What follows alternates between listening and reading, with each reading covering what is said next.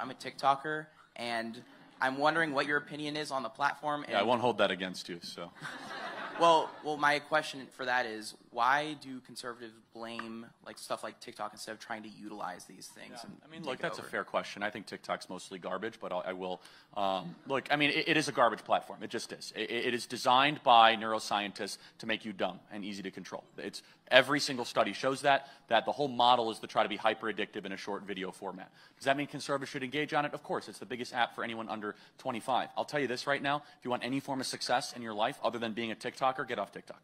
Um, it's just you're not you're not going to flourish by being on that application. The redeemable value of TikTok is negative. I'm not trying to offend you. I'm just being very honest, right? But I, I want more people like you that are not woke on there, hopefully enlightening people and pushing back against it. But it's a Chinese military operation. It's owned by the Chinese Communist Party to make American teenagers and American 20 year olds super dumb and easy to control. They don't let their young people on it. They actually yes. have. I'm not. They banned TikTok for their young people. Yeah, I'm not saying that this is good necessarily, but they actually have time limits, and they only allow their young people to look at like science oh, videos. I think that's really good. So no, I yeah. mean like I, I was like uh, just so you know, I've, I haven't I've lobbied for like two things in my life.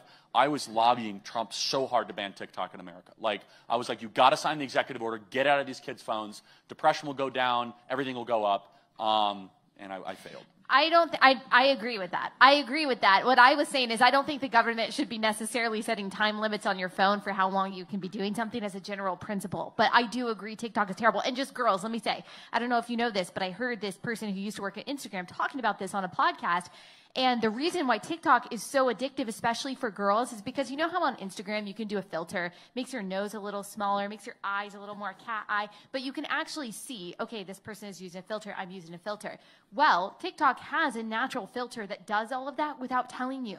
So the reason why you love how you look on TikTok is not because you suddenly look better than you do in the mirror. It's because it's a distortion of your image, which, wow, that is so demonic. So just consider that. Yeah, and so look, I, am just, I hate social media as it is. I have none of the apps on my phone. I'm super blessed to be able to have a team that, you know, publishes all of our stuff for me. I think, I think TikTok, Twitter, which I'm not on anymore. It's awesome. Uh, Instagram and YouTube destroy souls. Uh, we got along really well as human beings before these ridiculous applications. I say this as a total hypocrite, by the way. I have like 7 million followers on all these platforms. But is it a hypocrite, or am I a subject matter expert to tell you how awful these are? So I want you to think about that. Right? So I benefit from it. We have a following because of it. And I'm here to tell you your life will not improve the more time you spend on these apps.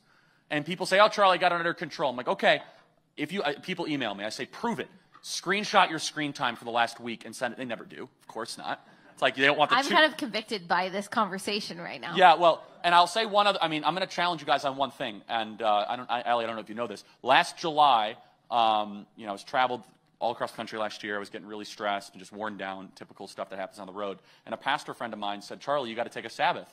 And I was like, oh, we're not bound by that commandment, whatever. And he really convicted me. So every Friday night, I take a Jewish Sabbath, turn off my phone Friday night to Saturday night. The world cannot reach me, and I get nothing from the world. It will bless you infinitely. Now, I'm not saying you're bound by the laws of a Christian. I'm not saying that that's something you have to do. I'm saying it will make your life better. It was important enough that God put it as one of the Ten Commandments. And I will say, there's debate in some theological circles that we are bound to it because it predated the law. God rested after creation.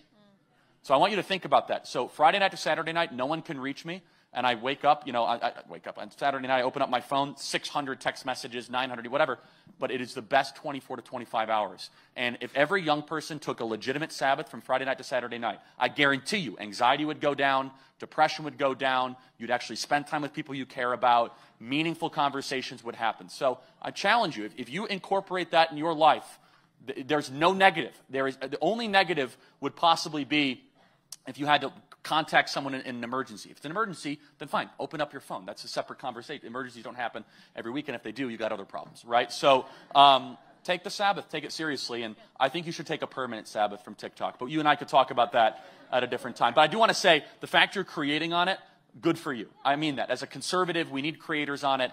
You asked me a moral question about TikTok, which I think is from the pit of hell. So, thank you.